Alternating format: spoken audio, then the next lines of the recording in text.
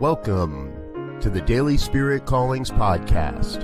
I'm your host, Robert Brzezinski, and I invite you to join me every day as we explore an affirmation, inspiration, and call to action for your life this day. And here is your Daily Spirit Calling for July 9th, 2018. Today, I double up on my prayer experience. I choose to invest more of me into my prayers. There is never a bad day to double up on our spiritual practices. The more we practice, the more our practice expands.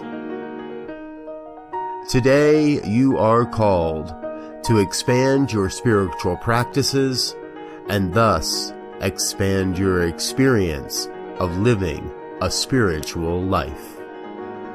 Thank you for listening to Daily Spirit Callings. If you found value in this program, please share it with your friends. Learn more about Spirit Evolving Ministries at spiritevolving.com. Until next time, peace and blessings. Go forth and prosper.